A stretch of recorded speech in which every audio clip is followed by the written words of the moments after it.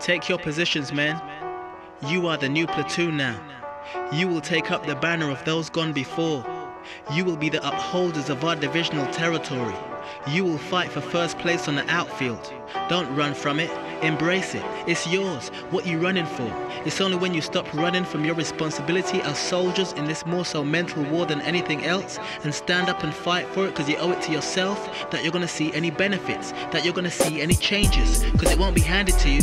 Oh no, that's for sure. It's only when you learn to control your circumstances and not have them control you. It's only when you can think 95% solution and 5% problem. It's only when you do these things. It's only when you can stand guard at the door of your mind.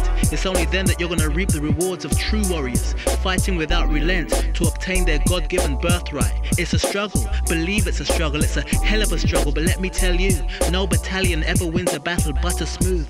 Oh no, it's gonna be rough. It's got to be rough. Oh yeah, because it's only through the harshness of the experience that you're gonna realize that the very thing that you fall for down in the valley is what you're gonna celebrate on the mountaintop if you stick it out. It's only through the harshness of the experience that you're gonna be able to have a true appreciation and understanding of what the victory means and why you fought so hard to get it if you stick it out. That's why.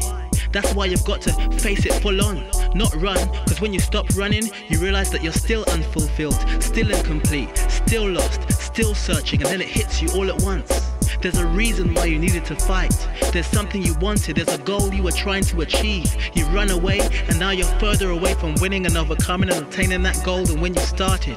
You're in a circle, and it's only when you decide to make an attempt to break out of that circle, i.e., stand up and fight and stop running, it's only then that you're gonna see results. It's only then that triumph will be yours. It's only then that you break out of that attempting and failing, attempting and failing repetitive circle that's cordoned you off in the past from achieving what you really want. It's only then that you're gonna feel complete. It's only then that you're gonna feel fulfilled. The outcome of this conflict is in your hands.